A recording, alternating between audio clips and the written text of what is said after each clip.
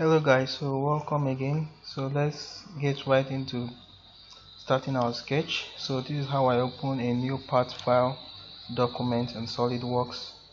Click on part and I click OK. Then the SolidWorks interface opens up for me and I begin my sketch. So let's get right into it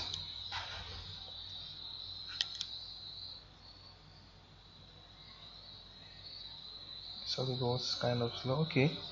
So this is my SolidWorks user interface. So first thing I do I check my metric system and I select the appropriate one. Then I select the right plane which I want to sketch on. So I'm sketching on the top plane now.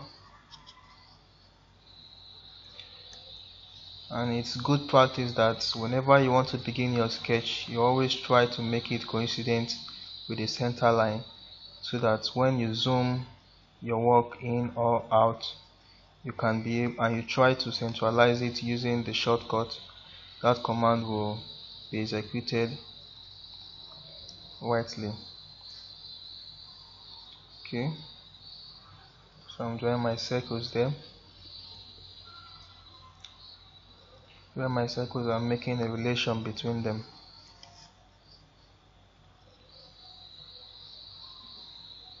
so you guys just watch and see how I'm using the different sketch entities how I will use my 2d sketch tools and modify my sketch entities so that they look exactly like my sketch and make my sketch look real. So circles arcs lines rectangles they are all my they are all sketch entities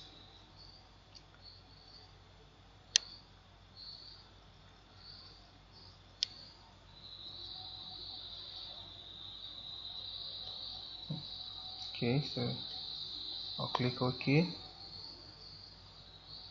And I'll add dimensions to it. Dimensioning is very important in design.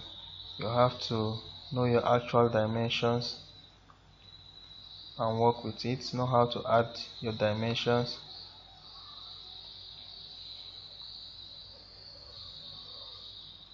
Because dimension makes your work look defined makes your work look compact and real if you don't give your work dimension and relations. When you try to apply 3D features to them or try to move them about your sketch or your model might become distorted and might not even recognize the shape in again. So that's why it's very important that as a good practice when you start when you start sketching you apply dimensions to your sketch and make them defined before you apply any 3D feature.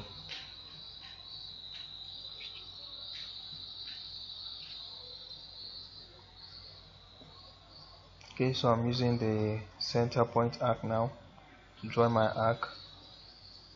See how I'll do this? I'll have to click on three sides, the center point, click where I want my arc to begin, and I click where I, I want my arc to end, and that's it three clicks center point starting from my center point.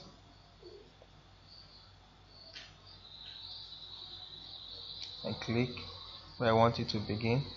I click I want it to end. I click again. So there it is formed like that. I'm going to draw a straight line across there you see I'm using the extend tool now. This is a 2d sketch tool. Modifying my work. See how I've modified that arc there to join with the line. Modify this other one too. So I'll trim those edges away using the trim entities tool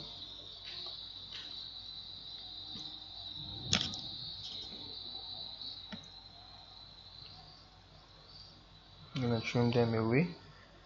Trim that part away and trim the other part away. So I'm going to apply fillet.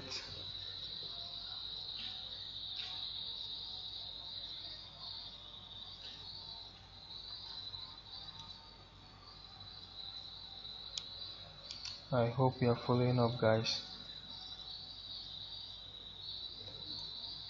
I always try to add dimensions to my work so that my work looks really defined. And it's important that whenever you are sketching you should have a complete geometry. Complete geometry in the sense that all your joints must be connected together. Your lines your arcs everything must be connected together. If not your 3d feature command might not be executed rightly you might get either a different thing or an error. So whenever you make a sketch you make sure that sketch has a complete profile.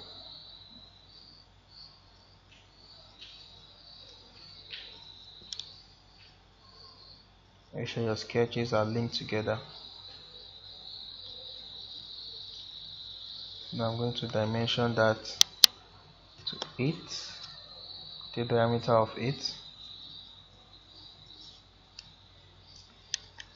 then I'm going to use the circular sketch pattern. Use a circular sketch pattern. That's it.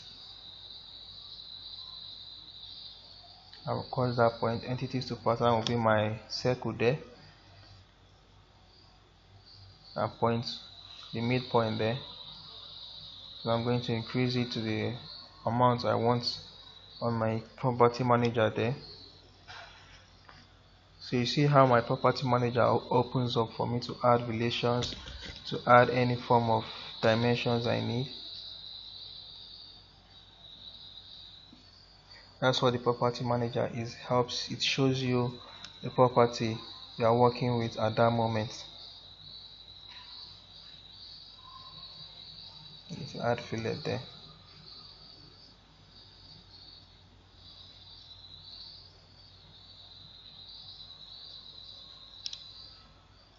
that seems about right? I'm going to add that. And I'll mirror now. Mirror that, that this acts that shape across the other one. Across the center line as my mirror about. Mirror about will be the center line. So there it is. It's looking much nice now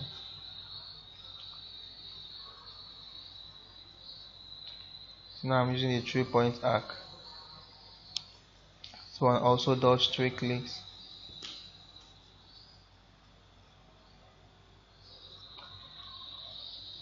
I dimension that now.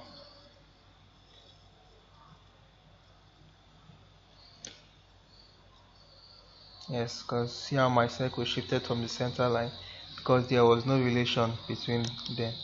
That's why relationship is very important. You have to create relation with your sketch to make it defined. So if I create a relation of coincidence it returns back there and you see how my sketch turns into black to show me that yes I have defined it.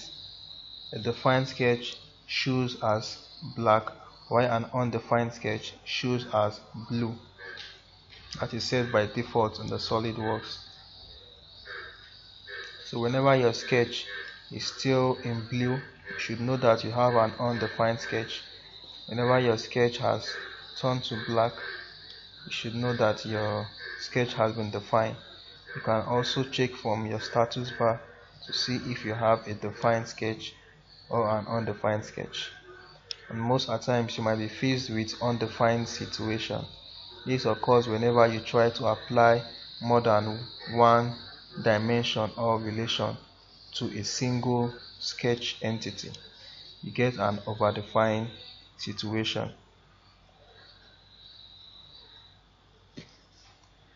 because your sketch or entity can only have a dimension not two if you give it two it becomes overdefined so there's my there's my arc created it using the three point arc tool okay. My dimension is and I'll mirror that now.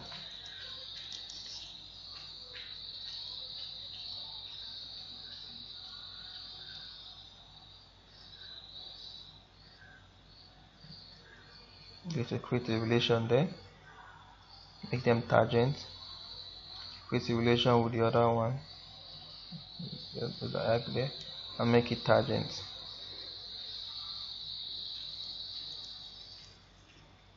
and I'll mirror that now mirror that arc. But that center line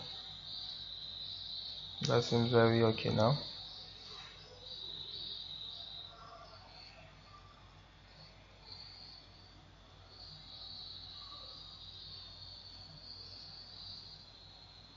No existing relations I'll add an existing relation there.